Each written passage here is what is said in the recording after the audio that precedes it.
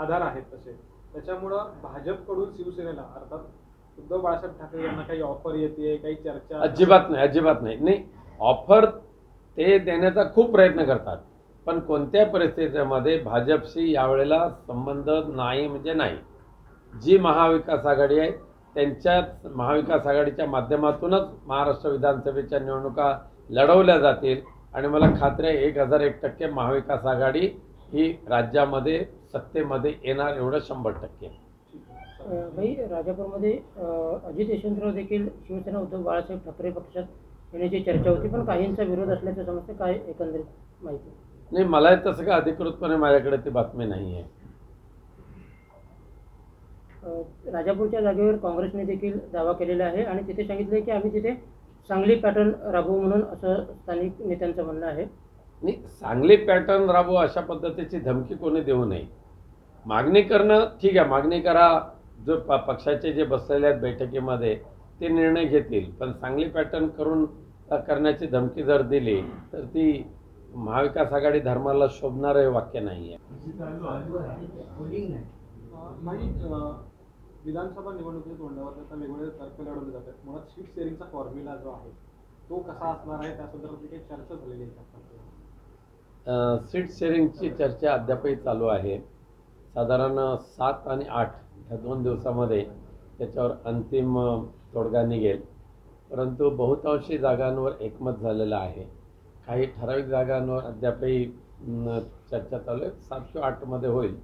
आणि दसऱ्याच्या मुहूर्तावर उमेदवारी जाहीर होईल असं मला वाटतं. साधारणपणे शिव शिवसेना जी आहे म्हणजे ठाकरेंची शिवसेना किती जागा लढण्यासाठी आग्रही काही असं ठरले का? तसं आमची एकशे चाळीस जागावर लढण्याची तयारी आहे. परंतु तिन्ही पक्षाचं तीन नाही अजून सहा पक्षांचं जागांचं वर्गीकरण जर पाहिलं तर त्यामध्ये कुठेतरी ॲडजस्टमेंट करणं क्रमप्राप्त आहे. परंतु नक्कीच चांगल्या पद्धतीच्या जागा आम्ही लढू. कोकणातल्या साधारणतः किती जागांवर अ, उभाटा आग्रही आहे? तसं पाहिलं तर कोकणातल्या जो युतीचा वाटपाचा जो फॉर्म्युला आहे त्याच्यामध्ये चिपळून सोडलं तर बाकी सर्वच जागांवर शिवसेना उद्धव बाळासाहेब ठाकरे पक्षाचे आमदार आहेत क्लेम आहे. चिपळूणमध्ये मागच्या वेळेला राष्ट्रवादी काँग्रेस पक्षाचे आमदार असल्यामुळे ती जागा अद्यापही चर्चेमध्ये आहे.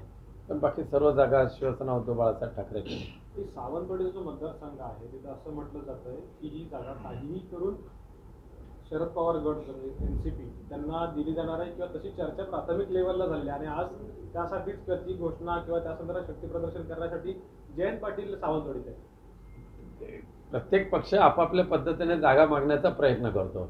पण सावंतवाड विधानसभा मतदारसंघ हा जो आहे तो शिवसेना उद्धव बाळासाहेब ठाकरे पक्षाचाच आहे आणि त्या ठिकाणी आमच्या पक्षाकडे सक्षम उमेदवारसुद्धा आहेत जे निवडून येतील.